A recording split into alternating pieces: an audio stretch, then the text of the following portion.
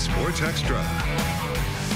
It's a big week for basketball with the postseason starting up and an even bigger week for teams looking to close out the regular season strong. One of those teams is right here in town. The Quincy High Blue Devils need to win out to bring home the Western Big Six title, and that road started tonight as they welcome in Rock Island. WGEM Steve Luden was at Blue Devil Gym and now joins me back in the studio to break it all down. Steve, I'll send it over to you. Thanks a lot, Brennan. Two games to go, and the Blue Devils needed to win both to claim the Western Big Six championship. And it doesn't get better than having longtime rival Rock Island come to town. Nights like this have helped the Blue Devils get their tradition. From the 50s teams coached by George Latham to the 60s and 70s of Sherrill Hanks to the 80s teams of Jerry Leggett and great teams coached by Loren Wallace, Sean Taylor, now Andy Douglas. All those Blue Devils teams wanted their name on that wall to show what they had accomplished. The Devils 26 and 3 on the season, a week away from postseason starting, but all the Blue Devils focus tonight was beating Rock Island. Ralph Wires got things going. He sprained his ankle on Saturday, no problem. Tonight he knocks down that first shot. But Rock Island had its own arsenal. Larry Oliver Jr. bombs away. He scored 18. This one was going to be a dandy. They were up 9 to 3, but you knew Keyshawn Thomas would play a big role in this game. The 6'6 junior gets that bucket, and then here, a hop, a step, and left hand. He scored 13 points tonight to help Quincy High School. After a Rock Island miss, here they come again. Tyler Sprick to the hole. Quincy scored seven straight. They led 10 to 8. The Devils were rolling now, and Tyler Sprick was feeling it. He buried that three, and the crowd was jumping. Sprick was a huge spark.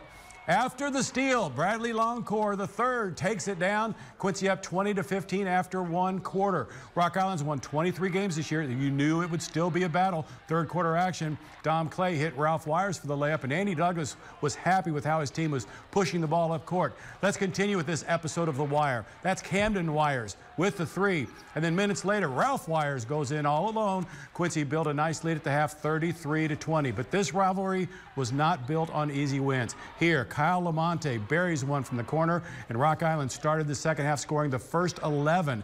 But that was enough of that. Bradley Longcore III taking over. He goes to the hole, and Quincy still led after three, 41 to 35. Longcore had 17. And then in the fourth quarter, Dom Clay was the man. He kept the Blue Devils ahead and helped seal the Devils' 27th victory of the season. The final score, Quincy High wins it over Rock Island, 58 to 48. And now it's time to jump in the boat and go upriver. These two teams will go at it again in just 45 hours up in Rock Island. Brennan, it's going to be a roller coaster the rest of the way. Great game tonight. It's going to be a dandy Thursday night as well. Back to you.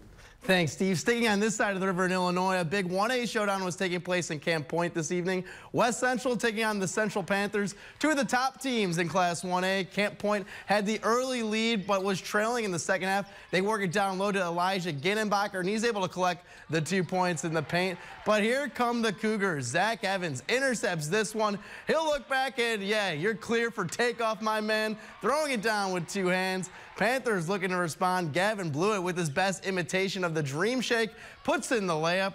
This is when things got interesting. Drew Pabin gets open from beyond the arc. He'll spot up and knock down the trifecta. He was just beginning to get things going. This time, top of the key. Time for that heat check. He'll pull the trigger from downtown, and that one's money. Central trying to keep chipping away at that Cougar lead. Blewett again, bowling his way down low, looking like an acrobat right there as he connects on the layup.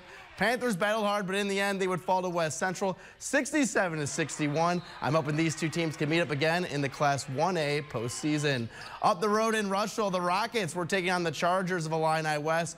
Both teams looking to get some momentum before the postseason starts. How about this Charger passing? They set up Reese in the corner, and he sends this one down the chute for three. On the other end, Carter Freitug was taking things into his own hands. He drives baseline, comes up empty the first time, but is able to clean the glass for the second chance points. Illini West must have been taking notes. They check up a three and come up empty, but Hayden Rankin grabs the board and puts it back in for two.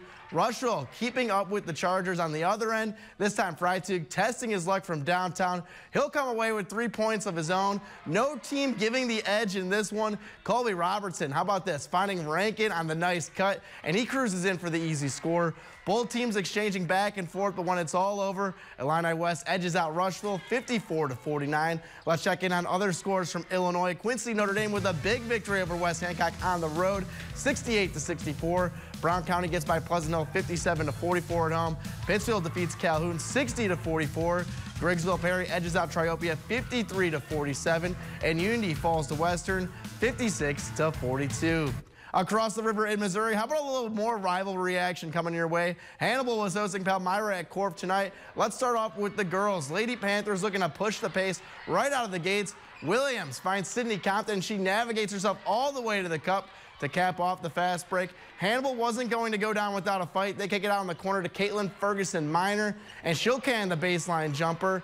Lady Pirates looking to build off that shot, but Claire Williams, she had other plans. She swipes this pass, and she'll take it coast to coast for the bucket. Hannibal wasn't going to let that play faze them. They find Mariah, Mariah Mayfield hanging out from three-point land, and she makes Palmyra pay by knocking in a three. However, Williams and company, they came ready to play in this one, and Palmyra would pick up the road victory as they take down Hannibal 51 to 36. The boys were also in action in Hannibal this evening. Palmyra looking for the road sweep. Pirates had their game faces on. Chase Timbrook gets open from downtown. He stops, drops, and pops and comes away with the tray. On the other end, Bear Bach dishing it to Ryan McKinney, and he answers punch for punch, draining a three-pointer of his own. More from the Panthers showing off their patience and passing on this possession.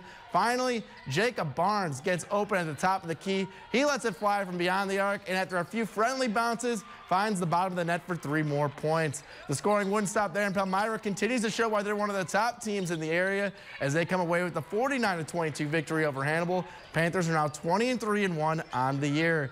And other boys scores in Missouri. South Shelby gets by Highland 57 to 40. Monroe City takes down Brookfield 69 to 36.